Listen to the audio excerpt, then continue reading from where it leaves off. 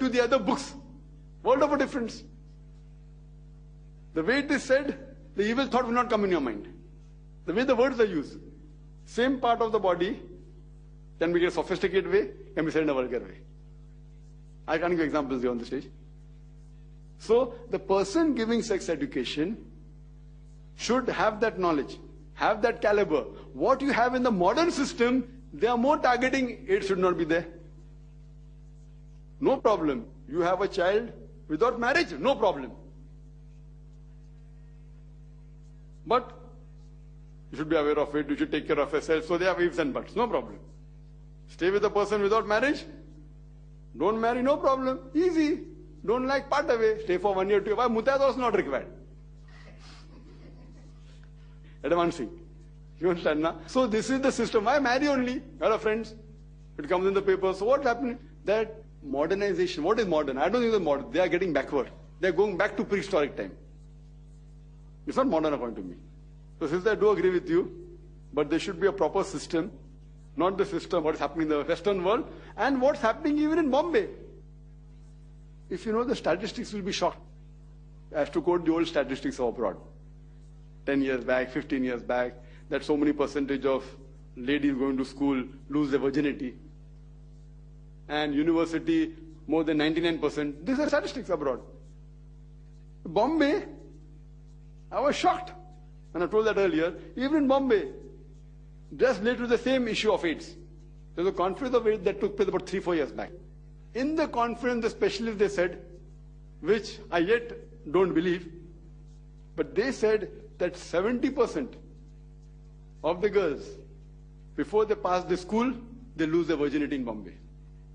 Which I say the college, I've extended it to make it a bit more palatable. It's difficult to believe. That was three, four years back. Specialists who have done survey are saying that. In the AIDS conference in Bombay. Topic is AIDS. More than 70% in Bombay. So what's happened to society?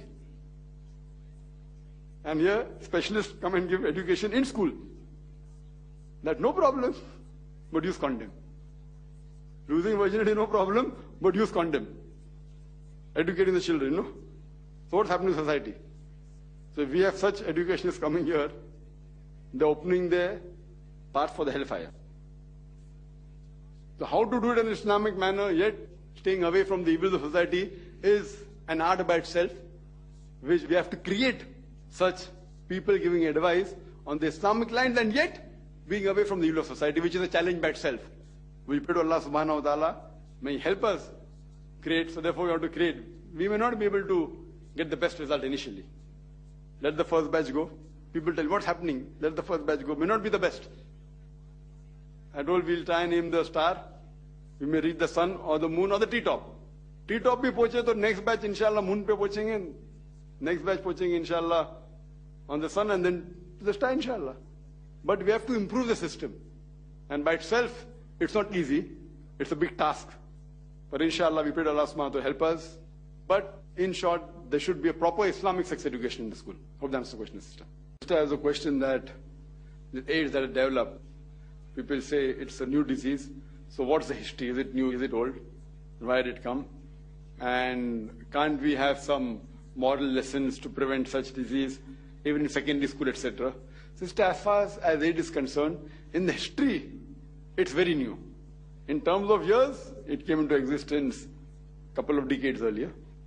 But otherwise, a couple of decades earlier is considered new. It's a recent disease. And there are various reasons that people have put forth. Previously, people thought it was homosexuality. Then they said that even heterosexuality causes it. And various. Then they came to know that the transfer of blood, how is the disease transmitted. Exact treatment so far no one has of AIDS. What is the cause they have come to know? Mainly due to sexual act with multiple partners, changing of partners. This is one of the reasons. Alcoholism can be one of the reasons. Drug addiction, sharing of needles can be one of the reasons. Various reasons. We can take prophylactic care about that. But it is mainly related with sex. Based on that, this, this is there, and India happens to be the second largest country which has the second largest number of people affected with AIDS, and it's right. And within the next few years, it will be number one. India. So regarding having such education in schools, yes, abroad they do have. They have classes of sex education for children. Some I would agree, some I would disagree with. What about Islam? Islam also there's sex education Islam. But the way it's conducted in the Western schools, I disagree with it. They do many things in Western schools because there the situation is different. According to a report in UK, just a couple of weeks back, there's an article that came in the Times of India that in UK, at present, more than 40% of the children that are born, they are born outside the wedlock. Means mothers are giving birth to children more than 40%, they are not married. In 20, 30 years back, the percentage was 20. A few decades earlier, it was negligible. So now society is advancing. And they said by 2012, more than 50% of the children born would be born to mothers who are not married.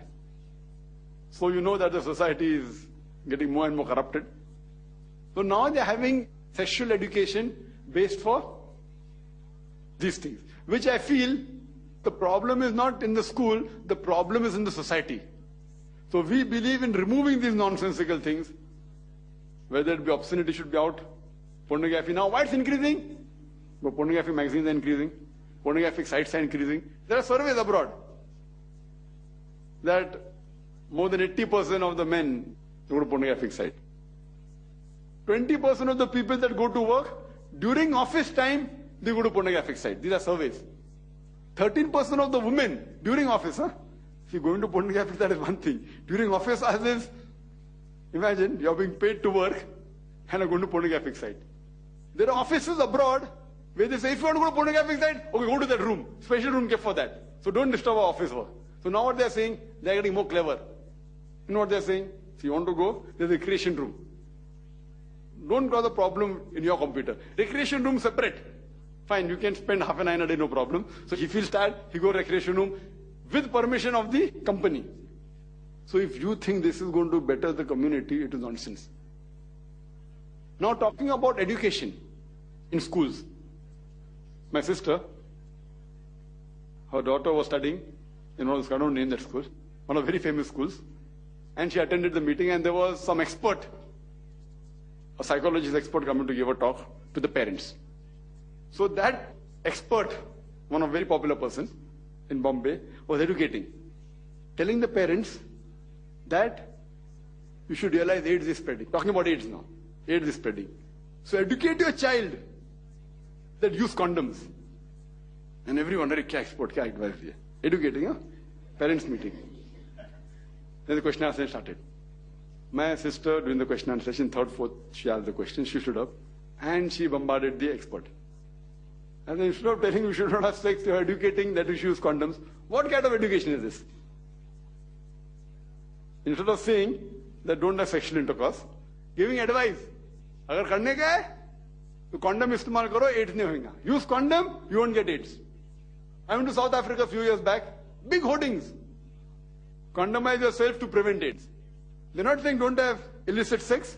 Have sex, but take care. Use condom. You won't get AIDS. It's spreading in Western countries. It's coming to India also. So instead of saying that don't have illicit sex, don't do adultery, don't do fornication, they're saying do, but take care. You use condom. So this is the education we're going to give to our children. Such education not required. So I do agree there should be sex education, but on Islamic guidelines. Not the way the Western countries are doing. And if I tell you everything, I cannot tell. I know about the study. What they do in sex education, if I tell you, you say, lecture dere kya? What all they teach is nonsense. Un-Islamic, haram. But what they're saying, Arey, Thomas come AIDS so So they are bothered about AIDS, they're not bothered about the akhirah. So the real treatment is kill the germ. Don't give a symptomatic treatment. So they are more bothered about they should not have AIDS rather than all the other wrong things of humanity they're doing. So here we find that the society is going from bad to worse. It's advancing towards the wrong thing. So why it's increasing? Because they're talking freedom of speech, freedom of expression, pornography legalization, prostitution legalization, and you see there, now the World Cup is going on in Germany. estimated so many tens of thousands prostitutes have come there. An article comes, waiting queue, average two hours. People come for World Cup. After the World Cup, they want to enjoy. And Germany has legalized prostitution. Legal, allowed. So no problem, have to hide and do it. Over demand, two hours after paying money. Taking an appointment, two hours in the queue. So what's happening to the world? Modern. So slowly there should be education. One thing is there that we should have. Now, one thing is who is there who can educate the child in the Islamic fashion and taking care of all the problems of the present world. That's a big demand. That's a big challenge. Even in our school, when the question came, I said, yes, now the children are growing up, we should have. But who is the person who can give that education is important.